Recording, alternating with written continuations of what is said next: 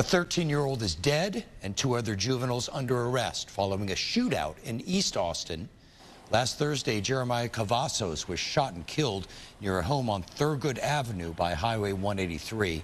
Police say bullets started flying after Cavazos and an accomplice attempted to rob another teen. The robbery victim shot at both Cavazos and his accomplice, causing the two to attempt to try and run away in a stolen vehicle. Police say during the getaway attempt, Cavazos was flung from the vehicle's back seat to the pavement, where he eventually died.